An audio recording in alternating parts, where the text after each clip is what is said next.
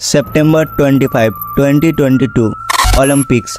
Berlin marathon, Kenya के रहने वाले इलवुड किपचोगे ने सिर्फ़ दो घंटे एक मिनट नौ सेकेंड में 42.1 किलोमीटर, यानी कि फुल मैराथन का वर्ल्ड रिकॉर्ड बनाया। आज हम एक बहुत ही सरल लेकिन प्रभावशाली तकनीक के बारे में बात करने वाले हैं, जिससे दौड़ना आपकी आदत बन जाएगी। इसे कहते हैं टू मिनट रूल अगर आप दौड़ने की शुरुआत करने या नियमित रूप से इसे जारी रखने में मुश्किल महसूस कर रहे हैं तो ये नियम आपके लिए है। इसका कॉन्सेप्ट बहुत ही आसान है। अगर आप दौड़ने की आदत बनाना चाहते हैं तो शुरुआत में सिर्फ़ दो मिनट के लिए दौड़े। हाँ सिर्फ़ दो मिनट। ये सुनने में बहुत ही सरल लगता है, लेकिन यही तो इसकी खासियत है। जब आप एक छोटा और आसान लक्ष्य बनाते हैं तो शुरुआत करना बहुत ही आसान हो जाता है। और एक बार आप जब शुरू कर देते हैं तो आपकी इसे जारी रखने में अधिक संभावना होगी। इसे इस तरह से सोचें। दौड़ने का सबसे कठिन हिस्सा अक्सर दरवाजे से बाहर निकलना होता है। दो मिनट रूल उस शुरुआती रुकावट को दूर कर देता है, जिससे काम इतना आसान हो जाता है कि